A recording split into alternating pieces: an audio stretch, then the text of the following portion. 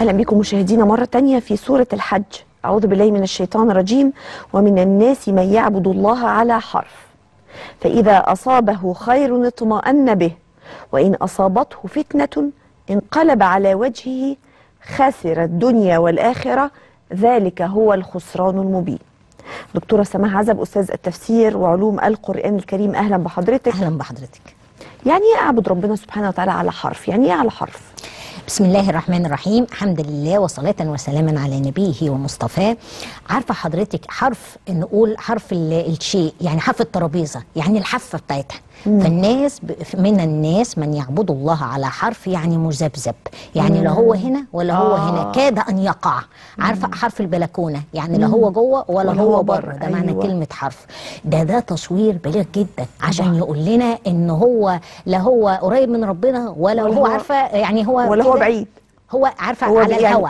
هو آه. على الهوا آه. تمام يعني ما ممكن إن هو يقع في أي لحظة عشان الآية تقول لنا إنه غير مستقر في قلبه الإيمان ولا إن هو عنده إخلاص ولا بيعمل حاجة ابتغاء مرضات الله هو بس بيقول كده كلام لو جاله خير يقول لك خلاص أهو شوف أنا لما التزمت جالي الخير طب وإن أصابته فتنة؟ لو جاله أي شيء فيه ابتلاء يقول لك ده أنا بصلي وبقرأ القرآن بيفتن في دين. وبحاول آه وبحاول أعمل أي حاجة صالحة ومع ذلك ما فيش حاجة جات لي أهو. أمال فين اللي أنت بتقوله؟ مثلا مثل بنسمعه جدا في الإنفاق. يقول لك طب ما أنا دفعت فلوس أهو وأديني قاعد ابني عيه وما جاليش فلوس. طيب آه يعني انت بتجرب مع ربنا؟ ما فيش يقين. انت ما بتعملش علشان دي صفقة. صحيح. يعني هتدفع كذا هيجي لك كذا. لا انت بتعمل ابتغاء مرضات الله. انت بتعمل حتى لو ما شفتش حاجة قدامك وما أدراك بالخير اللي هو منتظرك. فلا تعلم نفس ما أخفي لهم من قرة أعين. فيبقى الآية هنا بتصور لنا آه، حال بعض الناس وده موجود في حياتنا. طبعا ده كان موجود ناس زي كده من زمان من عصر الرسول صلى الله عليه وسلم وكانت من أسباب نزول الآية. آه، لكن في حياتنا بقى كمان إن في ناس بتعمل كده. أنا بقالي أسبوع بصلي ولسه ما فيش حاجة اتغيرت في حياتي. أسبوع. أنا مثلا تصدقت امبارح. أنا ده أنا عارف ده أنا صمت رمضان كله يعني وكأنه هو عمل اللي ما فيش حد عمله صام رمضان قوة. ففي ناس بتعمل كده. بتبقى فاكرة إنها صفقة فالآية بتحذر. إن ده الخسران ده الخسران المبين الخسران الواضح جدا. فكر في نعم ربنا عليك. ودايما بنقول ذكر النعمة دافع للتغيير.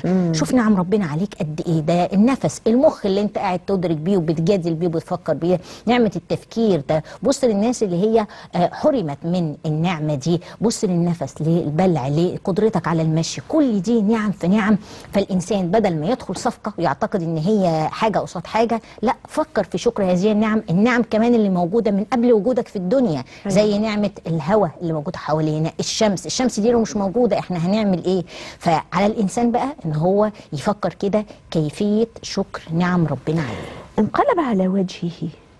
ده ده تشبيه برضو يخوف. جدا. يعني إيه انقلب على وجهه؟ آه زي بصي حضرتك في الآية بتاعت تبارك فمن فمن يمشي مكبا على آه. وجهه أهدى اما من يمشي سويا على صراط مستقيم. آه، شوفي آه. بقى كده يعني زي ما يكون هو كان ماشي في طريق الآية دي ماشي في طريق مستقيم ومعتدل وعارفة ماشي في وجهة صحيحة زي ما إحنا بنقول نلاقيه مش بس غير الوجهة لا, لا. ده اتقلب. على وشه. على, وشه.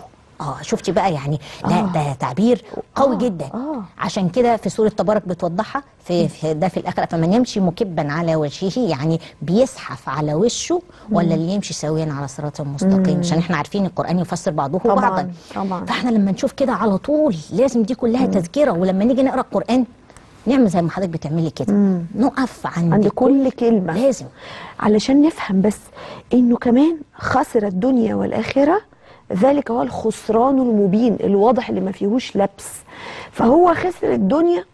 بمعنى إيه خسر الدنيا؟ إحنا خسر الآخرة يعني مش هيدخل بقى الجنة لأنه فتن وممكن يكفر. في ناس بقى بتوصل لمراحل بقى إيه؟ بتكفر وتبعد وتلحد وكل شيء. إنما خسر الدنيا إزاي بقى؟ عارفة الآية؟ ومن أعرض عن ذكري فإن له معيشة ضنكا. ونحشره يوم القيامة أعمى. ضنكا يعني إيه؟ يعني كل الضيق فيها. ده معنى كلمة الضنك. عارفة بقول لك. إيه؟ عشت ضنك يعني عشت ضيقة قوي. وما فيش عندي أي سعة ولا أي منفذ في صحيح. في ال- العيشة. فاللي بيبقى بعيد عن ربنا بتبقى حياته ضيقة. فما بالك ده واحد عارفة بيجرب مع ربنا. فكل ده نطلع منه بإيه؟ يلا الإنسان عارفة يعمل يقظة لنفسه. يلا كل الرسائل وكل الآيات اللي إحنا بنسمعها وكل حاجة بتحصل في حياتك ديت لازم يبقى فيها مردود لازم أغير حياتي لازم أعدل. أنا إزاي أشكر نعمة ربنا عليا؟ إيه الأعمال الصالحة اللي أنا أعملها؟ ولما تجيلنا دعوة خير من جمعية البر والتقوى يلا ساهم وشارك ده اللي أنت هتساهم بيه وتساعد بيه ده بيوصل للمستحقين في كل مكان في الجمهورية. ما ترددش ابدا وما استجبش لدعوة الشيطان. يمكن بكرة تحتاج أو أجل لأن كل دي حاجات هدفها وكل دي مداخل من الشيطان هدفها إبعاد الإنسان عن فعل الخير. طيب نروح نشوف تقرير ونرجع نكمل حلقتنا.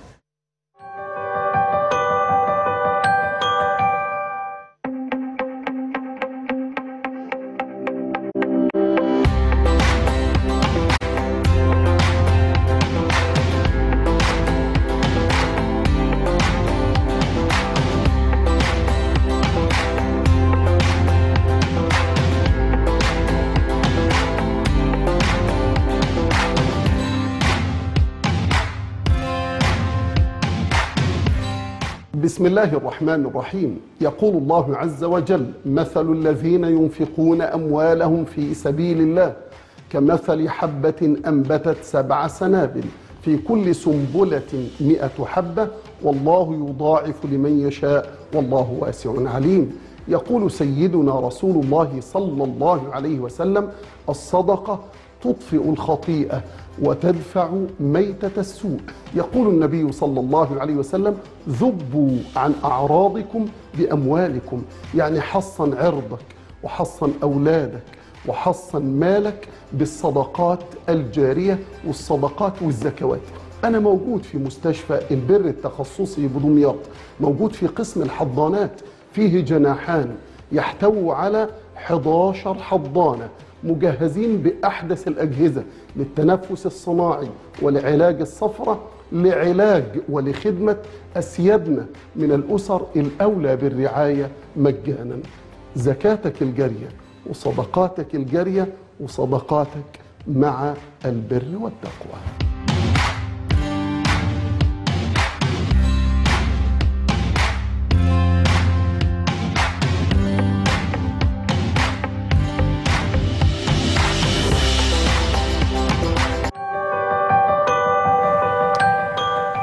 قسم الأ- الأطفال المبتسرين وهي قسم الحضانات للأطفال اللي بيبقوا لسه مولودين يعني مش مكتملي في الحمل يعني.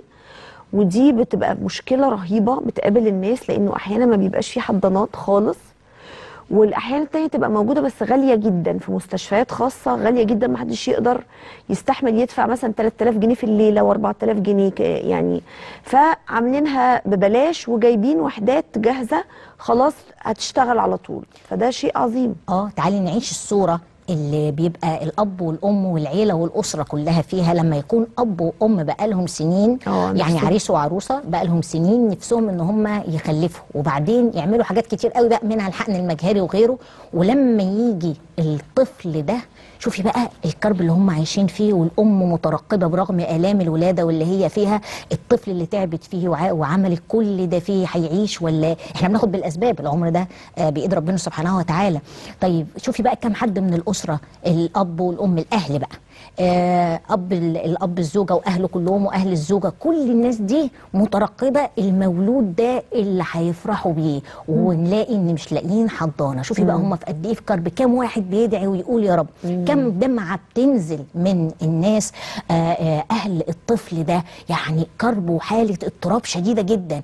كل ده فحلوا وجود حضانة. ممكن عارفة حضرتك تكون الفلوس موجودة كمان لكن الحضانة على بعد مسافات بعيدة جدا عقبال ما يوصل لها يكون حياة الطفل في خطر. فلو إحنا فكرنا في الصورة دي وإن ربنا سبحانه وتعالى جعل اللي هيساهم في الحضانة هو السبب في تفريج الكرب عن الناس دول. ومش هيبقى طفل واحد ده الحضانة موجودة بتستقبل عدد من الأطفال يوميا أو على مدى أيام. كل ده خير كبير دعوات بتوصل تفريج كرب. كلنا عارفين حديث الرسول صلى الله عليه وسلم من الصلاة فرج. عن المسلمين كربة من كرب الدنيا. يا شوفي بقى المقابل. فرج الله عنه كربة من كربة كرب من يوم كرب يوم القيامة. يعني لما أفكر كده دي حاجة في إيدي أنا ممكن أعملها دلوقتي لكن يوم القيامة اللي خلاص ده يوم الجزاء بلا عمل. العمل دلوقتي في الدنيا لكن الجزاء هو اللي في الآخرة. فأنا بستعد دايما أحط كده قدام عيني يوم يقوم الناس لرب العالمين. شوفي آية قوية قوي يوم يقوم الناس كل الناس واقفة في انتظار نتيجة الامتحان. وإيه؟ لرب العالمين رب الكون. ده الموقف نفسه إن إحنا نقف قدام رب العالمين ده حاجة قوية جدا. فما بالنا ده كمان يوم حساب. فالواحد يقعد يفكر إزاي أستعد لليوم ده. ولما يجي لنا دعوة الخير دي والأمان جمعية البر والتقوى أمان ليه؟ لأن اللي بينفق فلا خوف عليهم ولا, ولا هم يحزنون. نروح نشوف تقرير آخر ونرجع نكمل حلقتنا.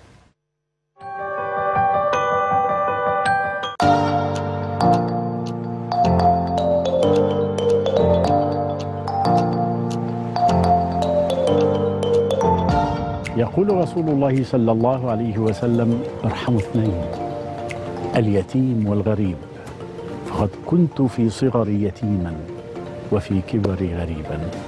النبي صلى الله عليه وسلم تحدث عن الغريب والغريب هنا عابر السبيل.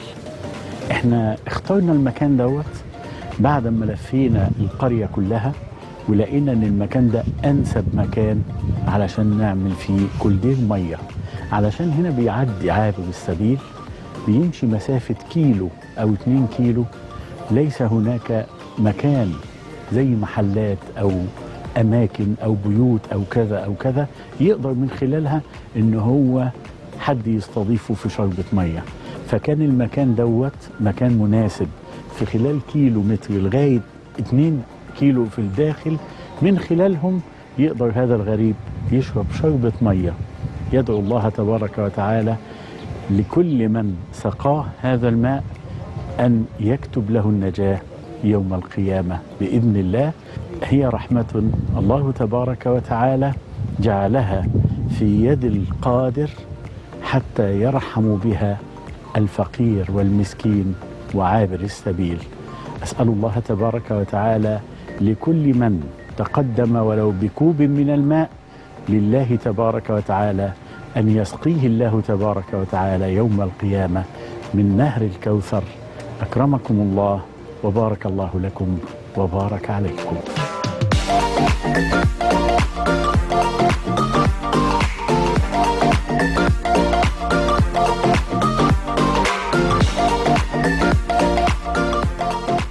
شاركوا معانا أعزائنا مع جمعية البر والتقوى. عايزين الناس كلها تشرب مية ساقعة في هذا الخير في هذا النماء لا تنسونا وإن شاء الله الخير جاي لنا كلنا. إن شاء الله مع جمعية البر والتقوى هنحفر أبار هنعمل كولدرات مية هنملى الأرض كلها من فضل ربنا خير.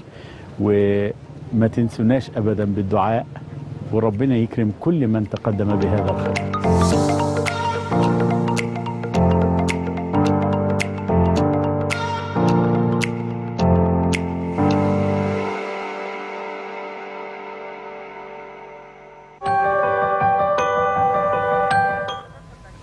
مبردات المياه ده شكر نعمة التلاجة شكر نعمة التكييف شكر نعمة إننا مش بنشتغل في الفاعل في الأرض.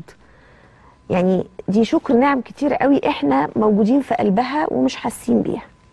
عارفة حضرتك آه، مهم قوي إن أنا أفكر نفسي كل شوية لا تجعل التعداد لا تجعل إلف النعمة أو التعود على النعمة ينسي كانها نعمة مش عشان صحيح. أنت اتعودت على الحاجة يعني طبيعي لما أدخل البيت ألاقي ثلاجه وأفتح الثلاجه وأخد منها المية الساقعة آه، ده طبيعي. لا ده مش طبيعي. ده في بلاد في في بلاد أو قرى بأكملها ما فيش فيها ده. وطبعا التقارير اللي بتعرضها جمعية البر والتقوى من قلب الواقع هو ده الحقيقة. فعلا في ناس عندها البيت عبارة عن الباب عبارة عن ستارة أو ملاية فما فيش أدنى حاجة اللي إحنا بنقولها دي الثلاجه طبيعي ما فيش ثلاجه دي. وكم من عروسة آه يعني جمعية البر والتقوى بتوصل لها جهاز العروسة اللي فيها الثلاجه اللي كان صعب جدا عليها إنها تجيبها. فإحنا. ما نتخيلش إن ده الطبيعي. لا دي نعم.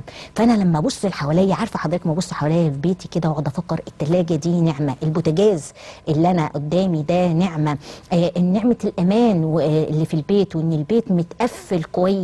آه وأشوف المشاهد اللي جمعية البر والتقوى بتعرضها أقول يا رب الحمد لله على نعمتك. ف اشكر النعمة دي إزاي؟ على طول أبتدي أساهم وأسارع وأعرف إن أنا لما بساهم كده بقول يا رب احفظ لي وربنا سبحانه وتعالى من المكافئات اللي بتوصل لي الحفاظ على هذه النعمة. جمعية البر والتقوى بتوصل المياه ومبردات المياه خصوصا لكل مكان في الجمهورية طالما في ناس مستحقين. نتخيل كده حضرتك الناس العمال وهم معديين؟